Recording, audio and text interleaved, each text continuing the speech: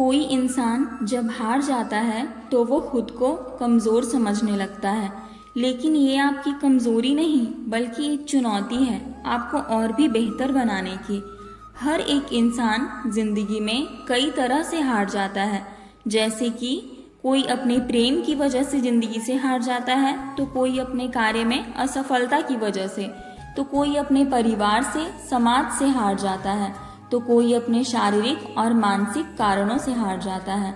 वजह कोई भी क्यों ना हो, लेकिन जब भी कोई इंसान ज़िंदगी से हार जाए तो उसे क्या करना चाहिए? उसका सामना कैसे करना चाहिए? श्री कृष्ण कहते हैं, हमें हार नहीं मानना चाहिए। ज़िंदगी में मुश्किलें नदी की लहरों की तरह होती हैं। अगर हम ये सोचेंगे कि जब ये नदी की लहरें खत्म हो जाएँगी, तब हम नदी में प्रस्थान करेंगे तो ये सोच आपकी बिल्कुल गलत है। क्योंकि नदी की लहरें तो हमेशा आती ही रहेंगी। इसी प्रकार हमारी ज़िंदगी भी एक नदी की लहर की तरह है, जिसमें दुख और सुख रूपी लहरें तो आती ही रहेंगी। तो जब हम ज़िंदगी में हार जाएँ तो हमें बैठे नहीं रहना है। लेकिन कई लोग ऐसी सोच रखते हैं कि जब हमारा बुरा वक्त खत्म होगा, जब ये मुश्किलें खत्म होंगी, तब हम कुछ करेंगे। तो ऐसी सोच रखकर हम ज़िंदगी तो जिएँगे, लेकिन कुछ कर नहीं पाएँगे। क्योंकि ये प्रकृति का नियम है। हमें दुखों में, मुश्किलों में आगे बढ़ना ही है। इसलिए जब आप ज़िंदगी में हार जाएँ तो हार मत माने, बल्कि आगे बढ़ें। जब भी आप ज़िंदगी से हार जाएँ तो कभी कोई निर्णय मत लें, क्योंकि जल्दबाजी में लिया हुआ निर्णय हमें हानि ही पहुंचाता है। इसलिए कोई भी निर्णय लेने से पहले इसके बारे में सोचें और समझें, तभी निर्णय लें। क्योंकि कई बार जल्दबाजी में लिया हुआ निर्णय ही हमारी मुसीबत बन जाता है। आप जो भी हैं, आपकी ही वजह से हैं। बहुत मुश्किलें हैं तो उसकी वजह भी आप ही है। आज आप अपनी ज़िंदगी से हार गए तो अपना आने वाला कल बेहतर कैसे बनाओगे? इसलिए अपने कल को बेहतर बनाने के लिए पहले अपने आप को और भी बेहतर बनाने की कोशिश करो। और आज अगर तुमने कुछ नहीं किया तो अगले वर्ष भी तुम वही रहोगे। जहाँ तुम आज हो। इसलिए आज बुरा वक्त है तो बुरा वक्त हमेशा के लिए ना रहे। इसलिए बुरे वक्त को हटाने के लिए खुद को बेहतर बनाने की कोशिश करो। ये दुनिया कर्म के अधीन है, यानी कि आज जो कर्म करेंगे, आपका फल भी वैसा ही होगा। छल करोगे तो छल ही मिलेगा, और सच्चाई से जियोगे तो हर पल सुख मिलेगा। इसलिए आज आपका बुरा वक्त है तो वो आपके बुरे कर्मों का फल है। इसलिए अच्छे कर्म करना शुरू कर दें।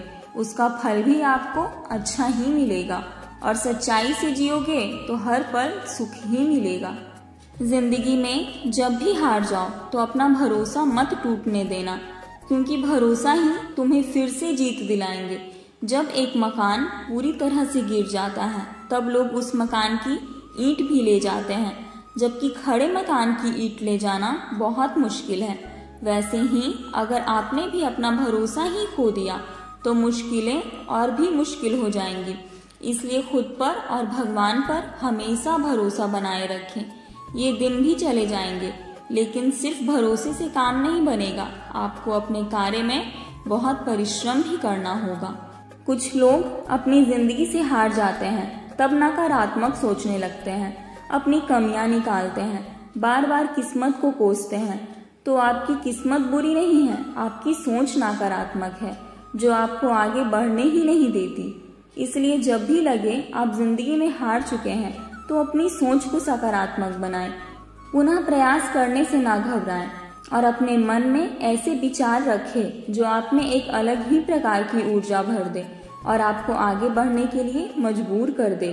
कई बार एक ही जगह पर आपको कई सारे नकारात्मक विचार आते हैं और ऐसे में यदि आप कुछ देर के लिए अपने घर से बाहर निकल जाते हैं तो आप खुद को उत्साहित महसूस करा सकते हैं।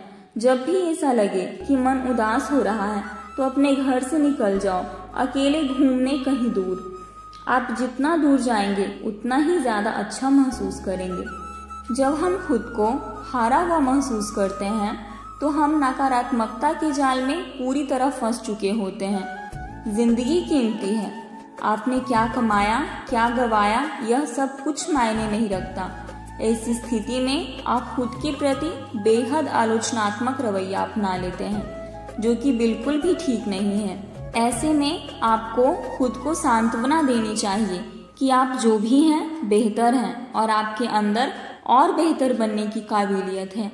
आपको सोचना चाहिए, आप जो भी हैं, आप खुद से संतुष्ट हैं, अपने प्रयासों से संतुष्ट हैं। बार बार इसी तरह के सकारात्मक विचारों का मनन करते रहने से आप बेहतर महसूस करने लगेंगे।